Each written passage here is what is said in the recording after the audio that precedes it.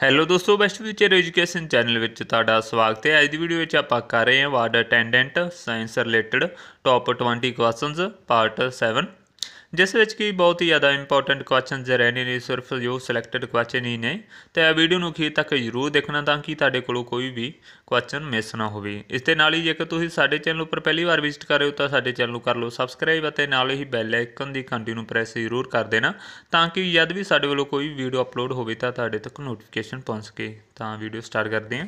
Video ਦੇ ਅਖੀਰ ਵਿੱਚ ਆਪਾਂ ਦੋ ਕੁਐਸਚਨ ਪੁੱਟ ਕਰਾਂਗੇ, ਜਿਨ੍ਹਾਂ ਦਾ ਆਨਸਰ ਤੁਸੀਂ ਕਮੈਂਟ ਬਾਕਸ ਵਿੱਚ ਦੇਣੇ ਹੋਣਗੇ। ਤਾਂ ਅੱਜ ਦਾ ਜੋ ਫਸਟ ਕੁਐਸਚਨ ਪਾਣੀ ਵਿੱਚ ਘੁਲਣਸ਼ੀਲ ਵਿਟਾਮਿਨ ਕਿਹੜੇ ਹਨ? ਤਾਂ ਰਾਈਟ ਆਨਸਰ ਹੈ ਜੀ ਬੀ ਐਂਡ ਸੀ ਠੀਕ ਹੈ ਜੀ, ਵਿਟਾਮਿਨ ਬੀ ਐਂਡ ਸੀ ਜੋ ਪਾਣੀ ਵਿੱਚ ਘੁਲਣਸ਼ੀਲ ਵਿਟਾਮਿਨ ਨੇ। ਇਹ ਬਹੁਤ ਹੀ ਜ਼ਿਆਦਾ ਇੰਪੋਰਟੈਂਟ ਕੁਐਸਚਨ ਹੈ।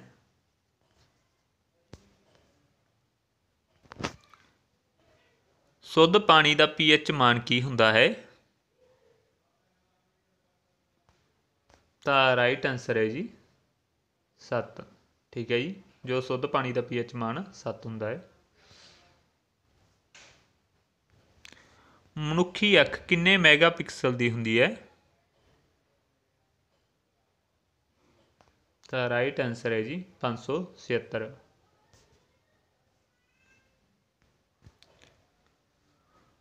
ਭੋਪਾਲ ਗੈਸ ਦੁਖਾਂਤ ਵਿੱਚ ਕਿਹੜੀ ਗੈਸ ਸ਼ਾਮਲ ਸੀ?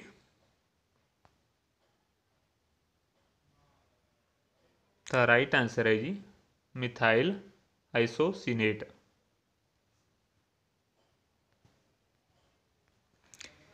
ਇਹਨਾਂ ਵਿੱਚੋਂ ਕਿਹੜੇ ਮਾਧਿਅਮ ਵਿੱਚ ਆਵਾਜ਼ ਦੀ ਗਤੀ ਵੱਧ ਤੋਂ ਵੱਧ ਹੋਵੇਗੀ? ਤਾਂ ਰਾਈਟ ਆਨਸਰ ਹੈ ਜੀ, ਸਟੀਲ। ਦੋਸਤੋ, ਇਹ ਬਹੁਤ ਹੀ ਜ਼ਿਆਦਾ ਮੋਸਟ ਇੰਪੋਰਟੈਂਟ ਕੁਐਸਚਨ ਹੈ, ਜੋ ਕਿ ਪਹਿਲਾਂ ਵੀ ਬਹੁਤ ਸਾਰੇ ਐਗਜ਼ਾਮ ਵਿੱਚ ਇਹ ਕੁਐਸਚਨ ਵੇਖਿਆ ਗਿਆ ਹੈ। ਸੋਡੀਅਮ ਬਾਈਕਾਰਬੋਨੇਟ ਦਾ ਆਮ ਨਾਮ ਕੀ ਹੈ? ਤਾਂ ਰਾਈਟ ਆਨਸਰ ਹੈ ਜੀ ਬੇਕਿੰਗ ਸੋਡਾ ਠੀਕ ਹੈ ਜੀ, ਉੱਥੇ ਤੁਹਾਨੂੰ ਬੇਕਿੰਗ ਸੋਡੇ ਦਾ ਨਾਮ ਵੀ ਪੁੱਛਿਆ ਜਾ ਸਕਦਾ ਹੈ ਜਾਂ ਫਿਰ ਸੋਡੀਅਮ ਬਾਈਕਾਰਬੋਨੇਟ ਕਿਸ ਨੂੰ ਕਹਿੰਦੇ ਨੇ, ਜਿਸ ਤਰ੍ਹਾਂ ਆਪਾਂ ਪੁੱਛਿਆ ਤਾਂ ਉਹ ਆ ਜਾਏਗਾ ਬੇਕਿੰਗ ਸੋਡਾ ਜੇ ਬੇਕਿੰਗ ਸੋਡਾ ਲਿਖਿਆ ਹੋਏਗਾ ਤਾਂ ਉਸ ਦਾ ਆਏਗਾ ਸੋਡੀਅਮ ਬਾਈਕਾਰਬੋਨੇਟ। ਦੰਦਾਂ ਦੇ ਹੱਡੀਆਂ ਵਿੱਚ ਕਿਹੜਾ ਤੱਤ ਪਾਇਆ ਜਾਂਦਾ ਹੈ? ਤਾਂ ਰਾਈਟ ਆਨਸਰ ਹੈ ਜੀ ਕੈਲਸ਼ੀਅਮ ਤੇ ਫਾਸਫੋਰਸ ਲੋਹੇ ਨੂੰ ਜੰਗ ਲੱਗਣ ਤੇ ਭਾਰ ਤੇ ਕੀ ਅਸਰ ਪੈਂਦਾ ਹੈ?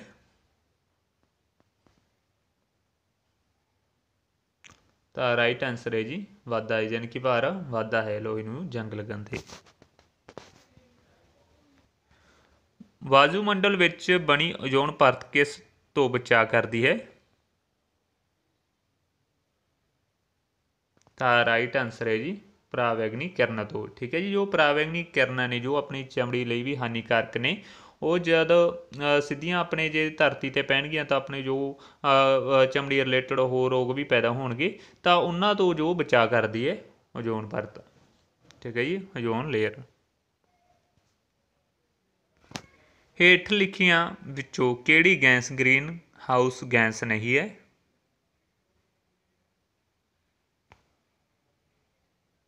ਤਾਂ ਰਾਈਟ ਆਨਸਰ ਹੈ ਜੀ ਨਾਈਟ੍ਰੋਜਨ ਠੀਕ ਹੈ ਜੀ। ਬਾਕੀ ਜੋ ਤਿੰਨੋਂ ਨੇ ਇਹ ਗ੍ਰੀਨ ਹਾਊਸ ਗੈਸਾਂ ਨੇ। ਅੱਖਾਂ ਲਈ ਕਿਹੜਾ ਵਿਟਾਮਿਨ ਵਧੀਆ ਹੈ? ਤਾਂ ਰਾਈਟ ਆਨਸਰ ਹੈ ਜੀ ਵਿਟਾਮਿਨ ਏ ਜਿਵੇਂ ਕਿ ਦੋਸਤੋ, ਤੁਹਾਨੂੰ ਪਤਾ ਹੀ ਹੈ ਕਿ ਜੋ ਵਿਟਾਮਿਨ ਏ ਦੀ ਘਾਟ ਨਾਲ ਜੋ ਅੰਦਰਾਤਾ ਰੋਗ ਹੁੰਦਾ ਹੈ ਅੰਦਰਾਤਾ ਰੋਗ ਜੋ ਕਿ ਅੱਖਾਂ ਨਾਲ ਸੰਬੰਧਿਤ ਹੈ, ਠੀਕ ਹੈ ਜੀ। ਵਿਸ਼ਵ ਜਲ ਦਿਵਸ ਕਦੋਂ ਮਨਾਇਆ ਜਾਂਦਾ ਹੈ? ਤਾਂ ਰਾਈਟ ਆਨਸਰ ਹੈ ਜੀ 22 ਮਾਰਚ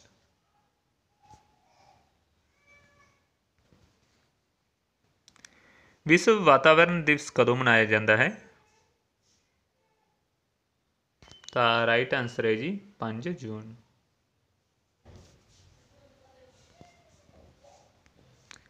ਵਿਸ਼ਵ ਸ਼ੂਗਰ ਦਿਵਸ ਕਦੋਂ ਮਨਾਇਆ ਜਾਂਦਾ ਹੈ ਤਾਂ ਰਾਈਟ ਆਨਸਰ ਹੈ ਜੀ 14 ਨਵੰਬਰ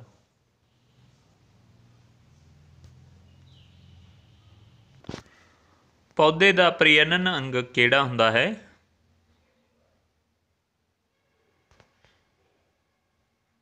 ਤਾਂ ਰਾਈਟ ਆਨਸਰ ਹੈ ਜੀ, ਫੁੱਲ। ਠੀਕ ਹੈ ਜੀ, ਫੁੱਲ ਜੋ ਪੌਦੇ ਦੇ ਪ੍ਰਜਨਨ ਅੰਗ ਹੁੰਦੇ ਨੇ। ਪਾਣੀ ਧਾਰਨ ਸਮਰੱਥਾ ਸਭ ਤੋਂ ਵੱਧ ਕਿਹੜੀ ਮਿੱਟੀ ਵਿੱਚ ਹੁੰਦੀ ਹੈ?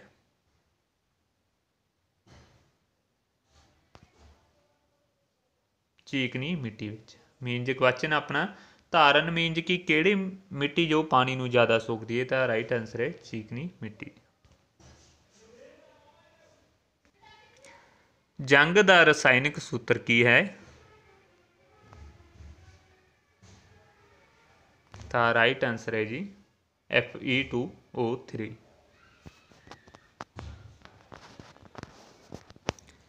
ਚਰਬੀ ਦਾ ਸੰਪੂਰਨ ਪਾਚਨ ਕਿਸ ਅੰਗ ਵਿੱਚ ਹੁੰਦਾ ਹੈ?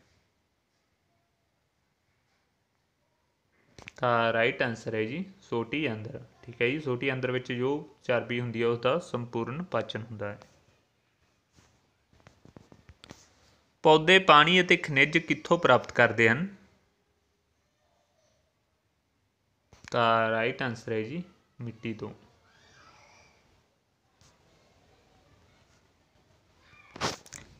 ਅਮਰਵੇਲ ਕਿਸ ਤਰ੍ਹਾਂ ਦੇ ਪੌਦਿਆਂ ਦੀ ਸ਼੍ਰੇਣੀ ਵਿੱਚੋਂ ਹੈ? ਤਾਂ ਰਾਈਟ ਆਨਸਰ ਹੈ ਜੀ ਪਰਜੀਵੀ, ਠੀਕ ਹੈ ਜੀ? ਜਿਵੇਂ ਕਿ ਪਰਜੀਵੀ ਜੋ ਵੀ ਪਰਜੀਵੀ ਪੌਦੇ ਹੁੰਦੇ ਨੇ, ਠੀਕ ਹੈ ਜੀ, ਉਹ ਦੂਸਰੇ ਤੇ ਨਿਰਭਰ ਕਰਦੇ ਨੇ। ਜਿਵੇਂ ਕਿ ਤੁਸੀਂ ਅਮਰਵੇਲ ਦੇਖੀ ਹੋਣੀ ਹੈ, ਕਿਸੇ ਵੀ ਪੌਦੇ ਉੱਪਰ ਜਦੋਂ ਆਪਣਾ ਜੋ ਜਾਲ ਬਣਾ ਲੈਂਦੀ ਹੈ, ਹੈਨਾ, ਤੇ ਉਹ ਉਹਨਾਂ ਪੌਦਿਆਂ ਤੋਂ ਹੀ ਭੋਜਨ ਪ੍ਰਾਪਤ ਕਰਦੀ ਹੈ। ਕਈ ਵਾਰ ਤਾਂ ਪੌਦੇ ਜੋ ਇਸ ਦੀ ਲਪੇਟ ਵਿੱਚ ਆ ਕੇ ਸੁੱਕ ਜਾਂਦੇ ਨੇ, ਠੀਕ ਹੈ ਜੀ? ਤਾਂ ਦੋਸਤੋ, ਅੱਜ ਦੇ ਜੋ 20 ਕੁਐਸਚਨ ਸਮਾਪਤ ਨੇ, ਤਾਂ ਤੁਸੀਂ ਦੋ ਕੁਐਸਚਨ ਜਿਨ੍ਹਾਂ ਦਾ ਆਨਸਰ ਤੁਸੀਂ ਕਮੈਂਟ ਬਾਕਸ ਵਿੱਚ ਦੇਣਾ ਹੈ। ਨੀਲੇ ਥੋਥੇ ਦਾ ਰਸਾਇਣਕ ਨਾਂ ਕੀ ਹੈ?